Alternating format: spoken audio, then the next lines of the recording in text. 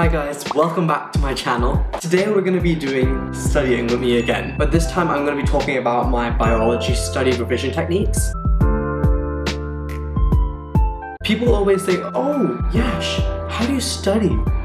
Actually, no, they don't. They say, Yash, can I have your notes? And it's pretty much a waste of time having to like scan my notes and put them up for other people because they don't want to make their own. So I thought today I'll just share with you guys how I make my biology notes. Biology is my higher level science for my IB program and I put in way too much effort. Like way too much effort. I make three bunches of notes and I revise for my test so much. So I thought today especially would be a great time to share because tomorrow I have a biology test and it's really, really big, like really massive biology test with like six units.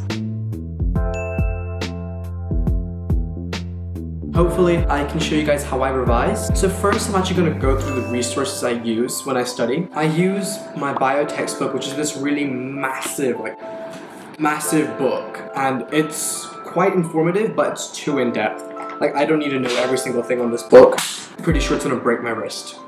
Next I use the bio study guide produced by IB. So it's essentially the bio textbook, but reduced down into like everything you actually need to know. Still a little in depth, but I use this to my advantage. And the last thing I use is my lifesaver. BioNinja, this website here. The best thing you'll ever find in your life. It has the entire IB bio syllabus, and it's everything you need to know and nothing more. Like, whoever created BioNinja, I love you so much. So how I revise is a three-step plan as well. I take notes when my teacher is talking in class. So I take really in-depth notes because I write down everything they say and I'm also writing down everything in the textbook at the same time. So I bring my fat textbook, this thing, to class every day with me and I take notes.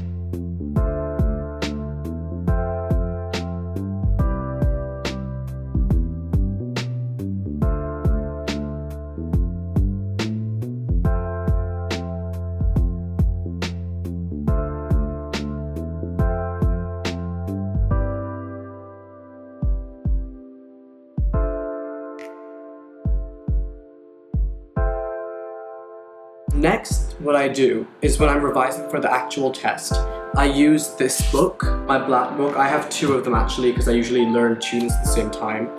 And these notes, I try to make as nice looking as possible in black, blue, and pink. And they're basically all I need to know. Nothing more, nothing less. Everything I need to know for the test. And I read over this a hundred, hundred, hundred times to memorize it because not to flex, but my memory's pretty good.